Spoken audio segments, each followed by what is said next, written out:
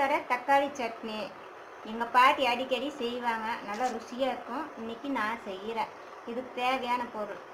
தக்காளி ஒரு பன்னெண்டு பழம் போட்டிருப்பேன் சின்ன சின்னதாக இருக்கிறதுனால பன்னெண்டு பழம் போட்டிருப்பேன். அது போ அது கூட கொஞ்சம் புளி.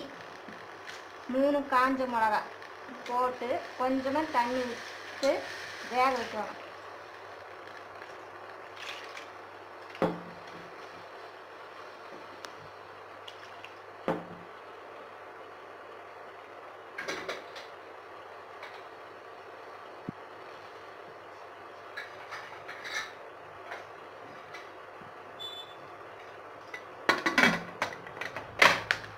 ரெண்டு விசில் விட்டா போதும். அந்த தக்காளி சட்னிக்கு ஒரு பொடி செய்வாங்க. அதுக்கு தேவையான பொருள். அரை ஸ்பூன் கடுகு.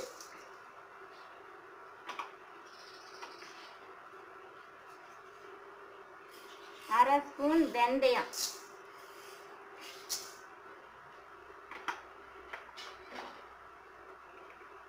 ஒரு ஸ்பூன் சீரகம்.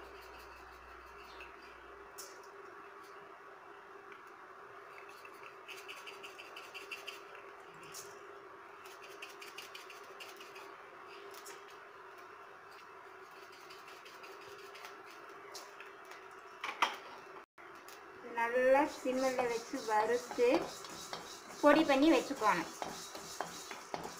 அந்த தக்காளி சட்னியோட இந்த இறக்கி வைக்கிற டைமில் இந்த பொடி போட்டால் அவ்வளோ ஒரு மனம் டேஸ்ட்டு சூப்பராக இருக்கும்.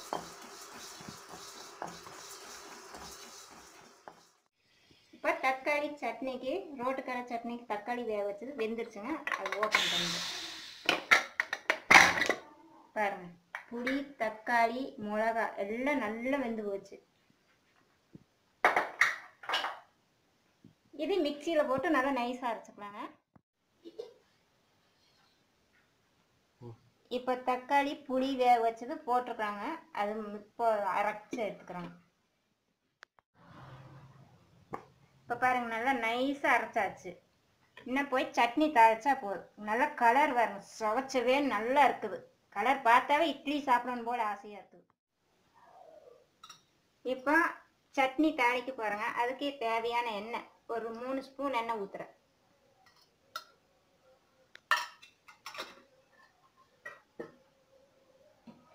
எண்ணெய் காஞ்சறது தாளிக்கிற பொருள்.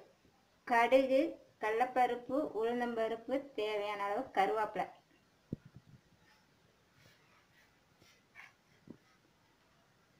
கடுகு போடுறேங்க.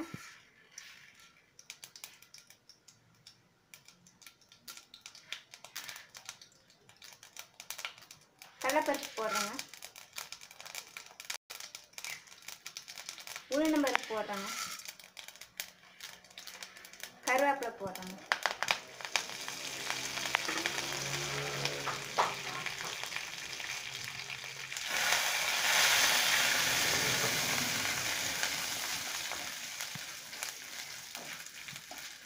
சட்னிக்கு கொஞ்சமாக சின்ன வெல்லம் போடல போட்டால் நல்ல டேஸ்ட்டாக இருக்கும். புளிப்பு காரம் இனிப்பு. இந்த மூணு சேர்ந்ததுன்னா அது ஒரு டேஸ்ட்டு தூக்கலாக இருக்கும்.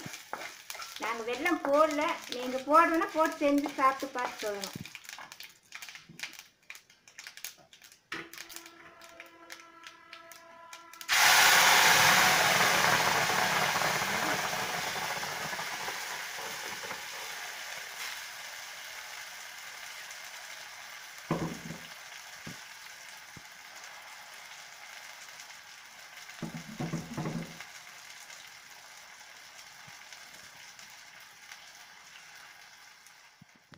சட்னிக்கு தேவையான கல் உப்பு தான் நான் போடுறேன்.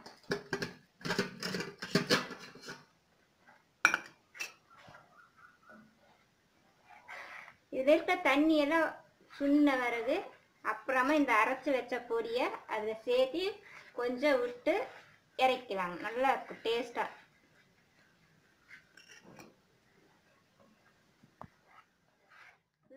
இப்போ சட்னி தாளிச்சுட்டு ரெடி ஆயிடுச்சான்னு பார்க்கலாம் சட்னி சூப்பராக ரெடி ஆயிடுச்சு. தண்ணியெல்லாம் சுண்டிடுச்சு. இன்னும் அரைச்சி வச்ச பொடியை இதுக்குள்ளே போட்டு கலப்பாங்க இது கூட வெந்தயம் சீரகம் கடுகு மூணும் போட்டு பொடி பண்ணி வச்சுருக்கேன் பாருங்கள் நைஸாக வேண்டாம்.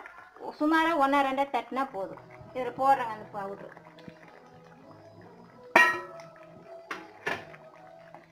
ரோட்டு கடை கார சட்னி. சூப்பராக இருக்குது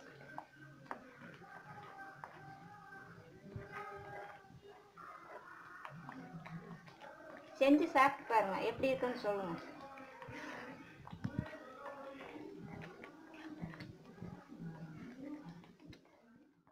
ஷேர் பண்ணுங்க கமெண்ட் பண்ணுங்க. வீடியோ பிடிச்சிருந்தா சப்ஸ்கிரைப் பண்ணுங்க. மறக்காம பக்கத்தில் இருக்கிற பெல் பட்டனை